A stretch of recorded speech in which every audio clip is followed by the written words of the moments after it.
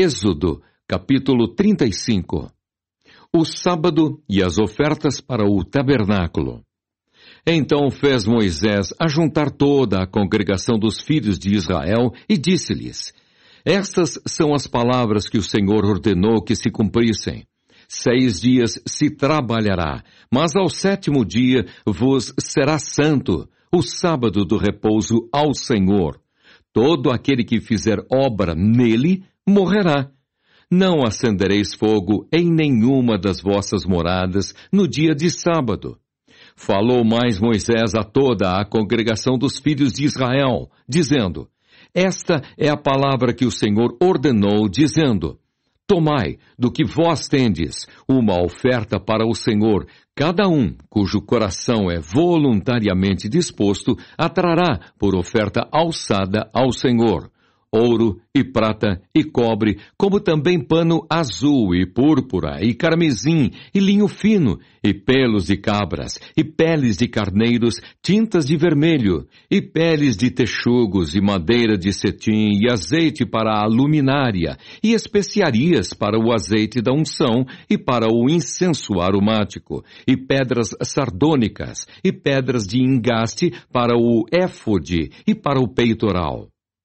e todos os sábios de coração entre vós virão e farão tudo o que o Senhor tem mandado. O tabernáculo e a sua tenda, e a sua coberta, e os seus colchetes, e as suas tábuas, e as suas barras, e as suas colunas, e as suas bases, a arca e os seus varais, e o propiciatório, e o véu da coberta, a mesa e os seus varais e todos os seus utensílios, e os pães da proposição, e o castiçal da luminária, e os seus utensílios, e as suas lâmpadas, e o azeite para a luminária, e o altar do incenso, e os seus varais, e o azeite da unção, e o incenso aromático, e a coberta da porta à entrada do tabernáculo o altar do holocausto e o crivo de cobre que terá seus varais, e todos os seus utensílios, e a pia, e a sua base, as cortinas do pátio e as suas colunas e as suas bases, e a coberta da porta do pátio, as estacas do tabernáculo e as estacas do pátio, e as suas cordas, as vestes do ministério para ministrar no santuário, e as vestes santas de Arão, o sacerdote, e as vestes de seus filhos para administrarem o sacerdócio a prontidão do povo em trazer ofertas.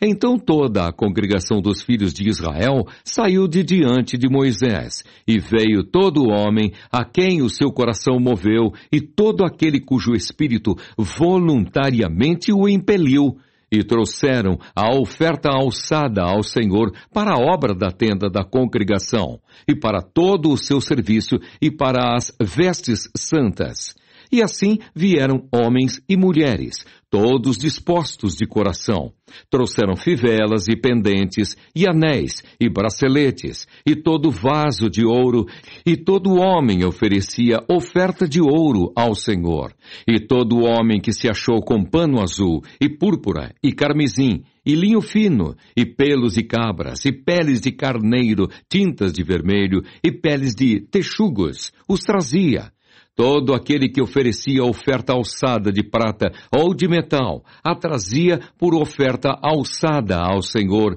e todo aquele que se achava com madeira de cetim, a trazia para toda a obra do serviço. E todas as mulheres sábias de coração fiavam com as mãos e traziam o fiado, o pano azul, a púrpura, o carmesim e o linho fino. E todas as mulheres cujo coração as moveu em sabedoria fiavam os pelos das cabras. E os príncipes traziam pedras sardônicas e pedras de engaste para o éfode e para o peitoral, e especiarias e azeite para a luminária e para o óleo da unção e para o incenso aromático Todo homem e mulher cujo coração voluntariamente se moveu a trazer alguma coisa para toda a obra que o Senhor ordenara, se fizesse pela mão de Moisés, aquilo trouxeram os filhos de Israel por oferta voluntária ao Senhor. Deus chama Bezalel e Aoliabe. Depois disse Moisés aos filhos de Israel: Eis que o Senhor tem chamado por nome a Bezalel, filho de Uri, filho de Ur, da tribo de Judá. E o Espírito de Deus o encheu de sabedoria, entendimento e ciência em todo artifício, e para inventar invenções, para trabalhar em ouro e em prata, e em cobre, e em artifício de pedras, para engastar, e em artifício de madeira, para trabalhar em toda a obra esmerada.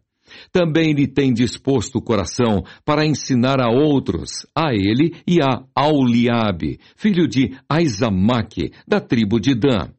Encheu-os de sabedoria do coração para fazer toda a obra de mestre, e a mais engenhosa, e a do bordador, em pano azul, e em púrpura, e em carmesim, e em linho fino, e a do tecelão, fazendo toda a obra e inventando invenções.